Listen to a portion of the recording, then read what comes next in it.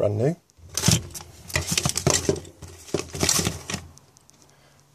Everything here is brand new. So that's two hobs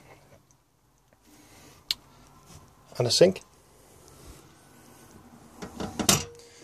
Inside we have the gas bottle, which will be coming with it, piped up. Two cupboards, double cupboards. Chrome dimmer switch, chrome main light, leather frame windows, might need a touch of glue on from time to time with the heat. All the way around, four windows all working.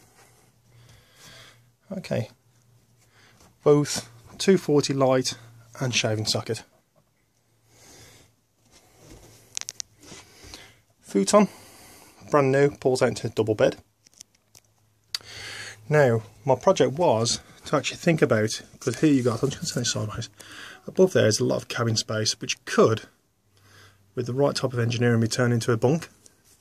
But what I was going to do, I was going to use the seats, means the double seat there and a single seat there, a bit of foam in the centre, right there. That's a bed across there. Plus, being it's high windows, there's no reason why a hammock couldn't go across the top as well. Caravan, sorry, the motorhome comes with a clip-on awning. I've only, I've only heard about this. It's supposed to be quite new. I've never had a chance to fit it on. Clips onto the back of the van, extending it quite a decent space from what I've been told. It comes with it. Fairly new cooker. Pizza shaped. So it goes all the way back and you can put pizzas in there and cook that quite happily. Again, another double. Another dump sink. I'll put an isolator switch in there. All the electronics have been checked and tested. Fridge working on not only 12 volt if you wanted it, cigarette lighter or mains lead. Now the engine is cold, so let's just see how it starts. Help get the right key. Okay, recently clean inside here because it's a bit messy having to have it, having having all burly men working on the mechanics. Okay, here's where hopefully I don't get embarrassed because it normally starts first time every time. Let's have a look at it. Alright, got the lights on there. Help if you took it out of gear drive.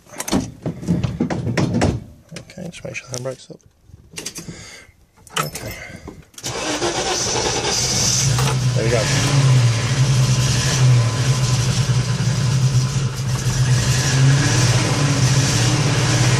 Now what's important to say is that this van hasn't started for over a week. Um, it came back from the MOT station last uh, Saturday, uh, which is a week, well it's been five days, it's not been started once and that is a beautiful sounding engine. Okay, just let it tick over for you. There we go, that's on tick over. Just going to secure it all. I'll leave it in gear. So it's a, a different type of gearbox to anybody that you, that's used this type of thing. First gear is down here, but you only use that as a crawler gear. Pulling off on most roads will be done in second, third, fourth and fifth.